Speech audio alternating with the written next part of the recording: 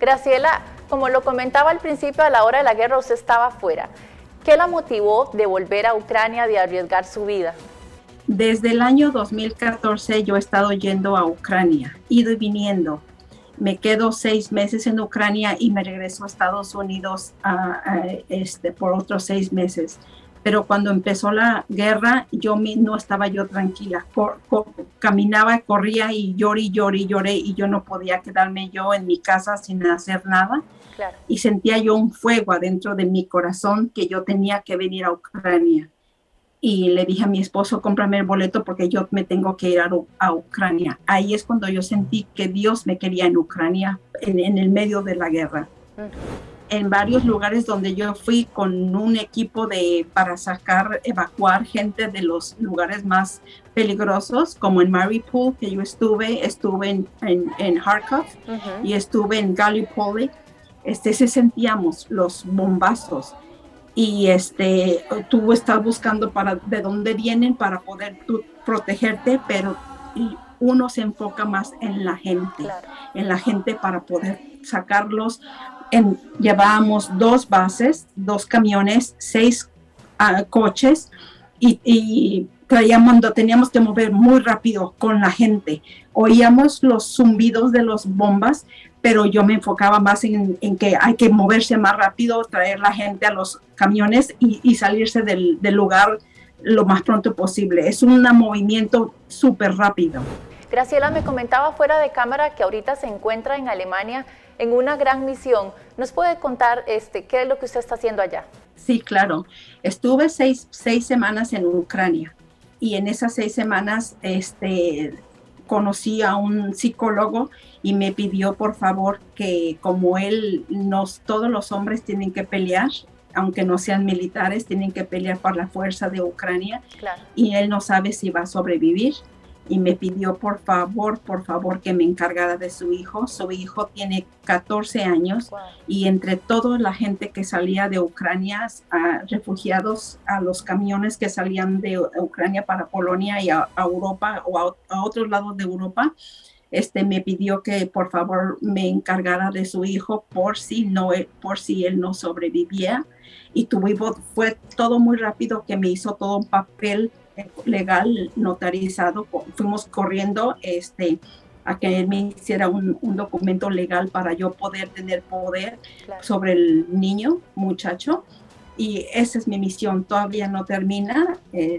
aquí estoy para ir, mañana voy a, me lo van a traer, lo voy a llevar a la embajada americana aquí en Berlín.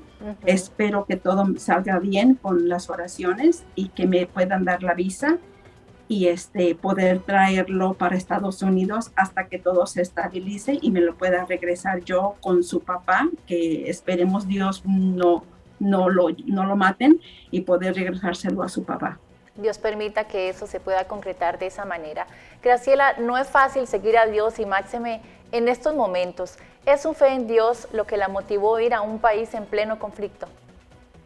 Podría pedirles. Número uno, la oración tiene mucho poder, mucho poder. Si Dios por delante, no hay de nada que temer.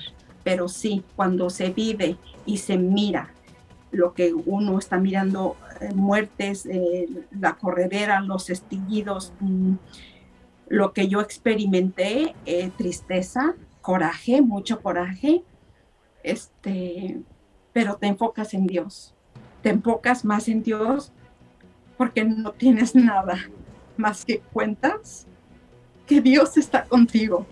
Yo no tuve miedo, en ningún momento tuve miedo, porque yo me metí en mi cabeza y en mi corazón. Esto es lo que me llama Dios. Si yo no sobrevivo para ir a donde voy a ir, que es a la Ucrania, si no sobrevivo la guerra por venir a ayudar, ¿a dónde me voy?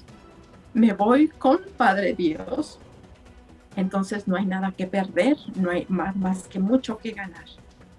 Seguir a Dios es lo más hermoso, pero no es fácil porque te confrontas con muchas cosas que no vas a saber cómo las vas a hacer.